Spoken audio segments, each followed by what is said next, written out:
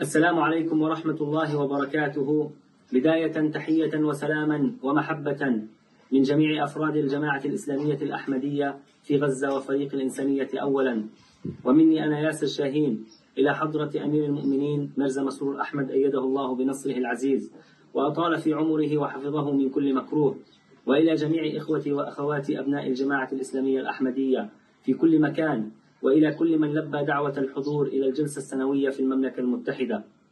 بورك جمعكم واجتماعكم لتأييد الحق وإعلاء كلمة الإسلام الحقيقي. هذا وعد الله هو الذي وضع اللبنة الأساسية لهذه الجماعة وأعد لها أقواما سوف تنضم إليها جميعا لأنه فعل ذلك القادر الذي لا شيء يعجزه. وحده الله يعلم كم أنا فخور بالتحدث إليكم اليوم وكم نحبكم جميعا وكم نحن ممتنون لدعائكم لنا ومساندتكم ودعمكم اللامحدود للمظلومين والمحتاجين في غزة وفلسطين. عملت الإنسانية أولا في فلسطين غزة أقامت خلالها العديد من المشاريع الإغاثية والتنموية والتي خدمت ولا تزال إلى هذه اللحظة تخدم آلاف الأشخاص والأسر.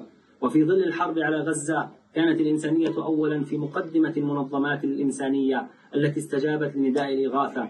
كان ذلك كله بتوجيهات مباشرة من حضرة أمير المؤمنين أيده الله بنصره العزيز. وبالرغم من كل الظروف القاسية التي عانى منها فريق الإنسانية أولا في غزة خاصة وأننا جميعا أجبرنا على ترك بيوتنا تحت ضربات المدفعية وقصف الطائرات. تمكنا بحمد الله من تنفيذ عدد من المشاريع. كم هي عظيمة دعوات تلك المرأة العجوز لكم إذ ساهمتم بتوفير المأوى لها ولعائلتها حين فقدت كل شيء.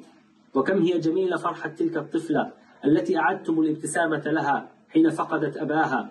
وكم هي رائعة دعوات آلاف الأسر لكم إذ وفرتم بدعمكم لهم.